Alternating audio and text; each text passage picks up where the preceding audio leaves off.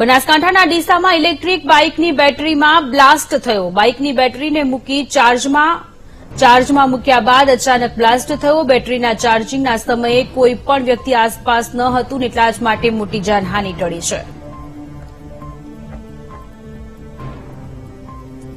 તો બનાસકાંઠાના ડીસાની આ ઘટના છે કે જ્યાં બાઇકમાં, ઇલેક્ટ્રિક બાઇકની બેટરીને ચાર્જમાં મૂકી હતી અને તે સમયે બ્લાસ્ટ થયો. જો કે સદનસીબે આ જ્યારે ઘટના ઘટી ત્યારે આજુબાજુમાં કોઈ હતું નહીં અને એટલા માટે મોટી જાનહાની ટળી છે. તો ઇલેક્ટ્રિક બાઇકને લઈને વધુ એક વખત સવાલો ઉઠી રહ્યા છે કારણ કે ઇલેક્ટ્રિક બાઇકને જ્યારે બેટરી ચાર્જમાં મૂકી ત્યારે અકસ્માતની ઘટના સામે આવી છે. બેટરીના ચાર્જિંગના સમયે એ વખતે કોઈ આજુબાજુમાં કોઈ વ્યક્તિ ન હતું એટલા માટે કોઈ નુકસાન થયું નથી પરંતુ જો આજુબાજુમાં કોઈ વ્યક્તિ હોત તો તેને પણ નુકસાન થાત તે પ્રકારની સ્થિતિ એવી બાઇકને લઈને જોવા મળી રહી છે.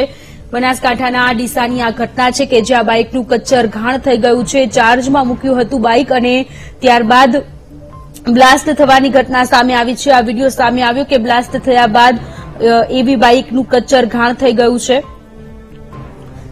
જો કે આખી ઘટનામાં સારી બાબત એ છે કે જ્યારે ઇલેક્ટ્રિક બાઇક બેટરી ચાર્જમાં હતી, ત્યારે એ સમયે આજુબાજુમાં કોઈ વ્યક્તિ ન હતું.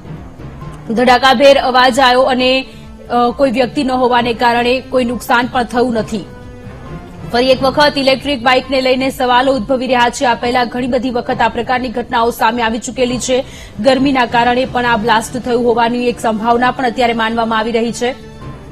ઘણી બધી વખત ઇલેક્ટ્રિક વ્હીકલ લઈને કોઈ વ્યક્તિ જતું હોય છે ત્યારે અચાનકથી ઇલેક્ટ્રિક વ્હીકલ સળગ્યું હોવાની પણ ઘટનાઓ આ પહેલા ગુજરાતમાં ઘટી ચૂકેલી છે. ત્યારે વધુ એક વખત બનાસકાંઠાના ડીસામાં આ ઘટના ઘટી છે. ઇલેક્ટ્રિક બાઇકની બેટરીમાં બ્લાસ્ટ થયો છે.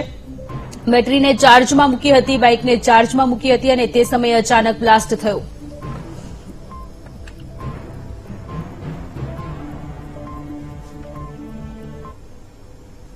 વડોદરામાં